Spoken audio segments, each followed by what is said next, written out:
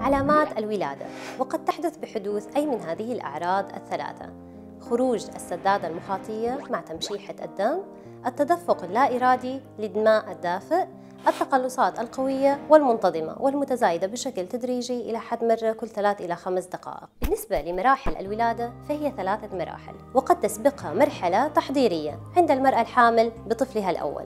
بالنسبة للمرحلة الأولى ويتم فيها التقلصات القوية المنتظمة والمتزايدة بشكل تدريجي إلى حد برة كل ثلاث إلى خمس دقائق.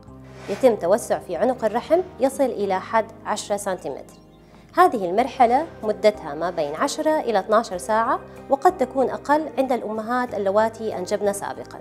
في المرحلة الثانية تبدأ بالتوسع الكامل لعنق الرحم ويتم فيها دفع الطفل في قناة الولادة. وتستمر هذه المرحلة ما بين ساعة إلى ساعة ونصف وقد تكون أقل عند الأمهات اللواتي أنجبن سابقا. وتنتهي هذه المرحلة بولادة الطفل. في المرحلة الثالثة تكون خروج المشيمة مع الأنسجة المرافقة لها وقد يحدث تمزق.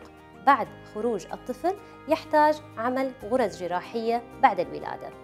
تستمر هذه المرحلة ما بين 15 إلى 30 دقيقة. آلام الولادة والتعامل معها. يتم التعامل مع آلام الولادة عن طريق المساج، الحمام الدافئ، بالإضافة أيضاً إلى التمارين الرياضية. وهناك أيضاً وسائل دوائية للتعامل مع آلام الولادة وتسكينها. وهي عبارة عن استنشاق غاز أكسيد النيترس الذي يتم بوضع قناع على الأنف والفم.